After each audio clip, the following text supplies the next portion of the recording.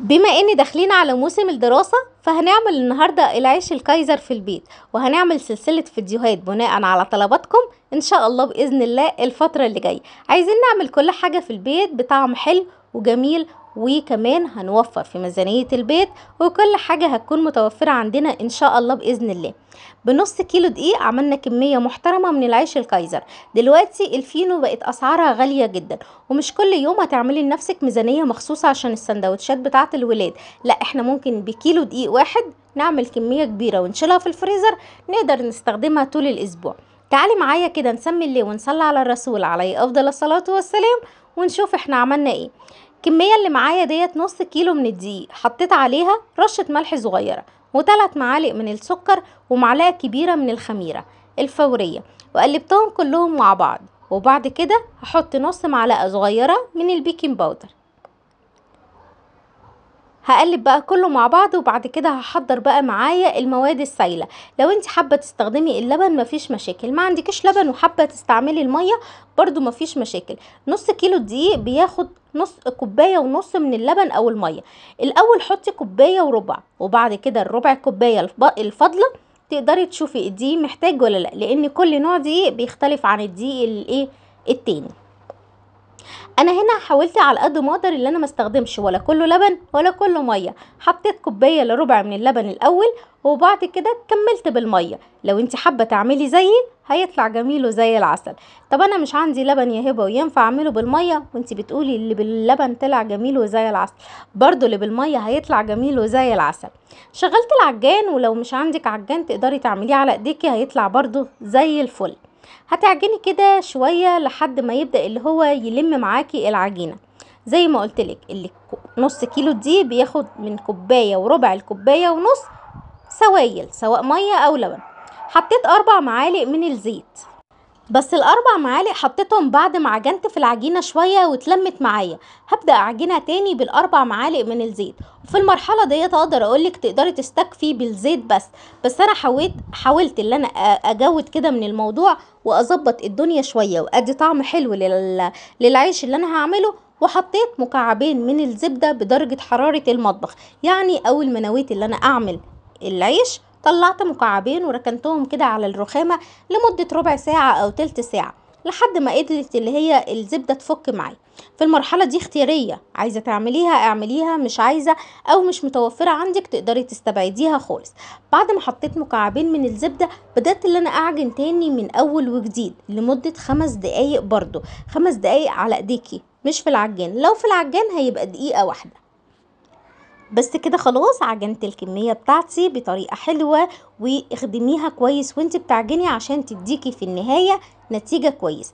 أنا عايزة العجينة بتاعتي تكون بتلزق بسيط جدا يعني لما أجي أمسكها في إيديا ألاقيها ماسكة في صوابعي كده مش عايزة تسيب. تعالي بقى بعد كده نشوف هنعمل إيه. في الوقت دوت خلاص كانت العجينة اتعجنت كويس وبرده زي ما قلتلك بتلزق بسيط جدا. حطيت زيت في العجان من تحت وحطيت العجينة وحطيت على وشها كده نقطتين من الزيت وركنتها لمدة نص ساعة. بعد كده العجينة خمرت معايا تعالي نشوف هنعمل إيه فيها. هبدأ إن أنا آخد العجينة وأخرج منها الهواء بس مش هعجن فيها تاني. خلاص كده اوعي تعجني العجينة مرة تانية. على الرخامة عندي شوية دقيق والدقيق هنا هو اللي هيساعدني إن العجينة ما تلزقش في إيديا. هبدأ أعمل العجينة بتاعتي بالشكل دوت كده. طبعا الحجم على حسب ما أنت عايزة.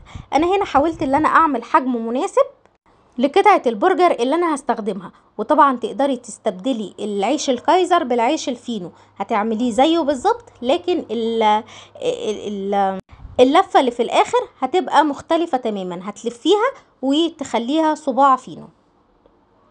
بصي بالشكل دوت أنا بكورها وبروح حطاهم كده كلهم جنب بعض. بس مستحب اللي انت تحطي في إيديكي شوية دقيق وكمان تحطي على الرخامة شوية دقيق عشان ما يلزقش معاكي. هخلص الكمية كلها بنفس الشكل. بحطها ببطن إيديا وببدأ ان أنا أقفل عليها وأروح لفاها بكوره بالشكل دوت. الخطوات ديت مهمة جدا لازم تخلي بالك منها علشان خاطر تحصلي على رغيف كايزر يكون حلو وكمان ما يبقاش معجن من جوه. خلاص كده خلصت الكمية كلها بسم الله ما شاء الله طلعت لي كمية مناسبة. هاخد هاخد أول واحدة أنا بدأت اللي أنا أعملها وأبدأ اللي أنا أفردها كده بإيديا على ال- الرخامة. وبعد ما فردتها بإيديا هاخدها تاني وأقفلها نفس الشكل اللي أنا كنت مقفلاه من البداية. وبعد كده هحطها على الرخامة وهبدأ اللي أنا بين إيديا هبدأ اللي أنا أكورها بالشكل ده. كل الحاجات اللي أنا بقولك عليها دي ما بتاخدش ثواني والله.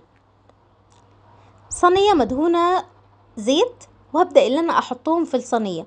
بس خلي بالك اللي هي لسه هتخمر تاني في الصينية فحاولي تعملي فراغات بين كل واحدة والتانية. عملنا 12 قطعة من الكايزر يعني 12 رغيف فينو. عايزة أقولك بكام؟ يعني ممكن نقول كده لو الكيلو دقيق ب 12 جنيه يعني نص كيلو دقيق بستة جنيه. تقدري تعملي كمية حلوة من الفينو طعمها حلو. لو هتعملي الكيلو كله على بعضه هتطلعي كمية كبيرة تقدري تشيليها في الفريزر وتستخدميها طول الأسبوع على حسب ما الولاد عايزين. طبعا إحنا بدأنا في سلسلة فيديوهات للمدارس فلو انت حابة تعملي أي نوع معجنات وخايفة أو عايزة تعملي حاجة وعايزاني أجربها لك الأول أو عايزة تعرفي الطريقة يا ريت تكتبي لي في الكومنتات وإن شاء الله بإذن الله هنعمل سلسلة فيديوهات حلوة جدا هتعجبكم. خلاص كده خلصت الكمية كلها بسم الله ما شاء الله خلصوا معايا بسرعة جدا. معايا معلقتين من اللبن عليهم معلقة لبن بودر دوت اللي إحنا هنعمل بيه الوش. مرضتش أحط بقى صفار بيض مرضتش أحط نسكافيه مرضتش أحط أي حاجة من الحاجات دي فضلت اللي حاجة تكون متوفرة في البيت. هدن الكمية كلها وبالراحة كده وانتي بتعمليها علشان خاطر ما تخرجيش الهواء اللي إحنا دخلناه جوه. حطيتي ال like بقى يا ست الكل. طب يلا حطي ال like بتاعك عشان أعرف ان الفيديو بتاعي النهارده عجبك وعايزة بقى كلكم تنفذوا الطريقة وعشان تبعتوها لي على الواتس عشان أنزلها هنا إن شاء الله بإذن الله. كده خلصت الكمية كلها اللي في الصينية. هبدأ أعمل الصينية التانية. عايزة أقولك ممكن تسيبيها سادة كده من غير ما تحطي على وشها أي حاجة خالص. ممكن تحطي سمسم ممكن تحطي حبة البركة على حسب المتوفر عندك والولاد بيحبوا إيه. طبعا أنا عملت 12 قطعة بنص كيلو دقيق. لو هتروحي تشتري الفينو دوت من بره طبعا إحنا خادمينه كويس حاطين فيه لبن حاطين فيه زبدة في أفران كتير ما بتعملش الحاجات ديت. وفي أفران بتعمل الحاجات دي بس بتبيع ال- الواحد بضعف الكمية. فتخلي بالك من النقطة دي. حطيت السمسم وهبدأ اللي أنا في واحد هحط عليه حبة البركة. قلت كده أجرب حبة البركة يمكن الولاد ياكلوه. وبالفعل طلع حلو وطعمه حلو وحطيت عليهم كمان شوية سمسم. دخلتهم الفرن على الرف اللي فوق خالص مش الوسطاني. طلعت الشبكة لفوق شوية ودرجة الحرارة بتاعة الفرن كانت 200 أول ما خرج من الفرن برش عليه مية زي ما شفتي كده وبغطيه بفوطة تكون نضيفة وبتسيبيه شوية لمدة 3 دقايق. بعد كده ترجعي له تاني بتلاقيه طري بالشكل اللي انت شايفاه دوت كده. عشان أول ما تخرجيه من الفرن هتحسي اللي هو بقى ناشف. عشان كده لازم ترش عليه شوية مية.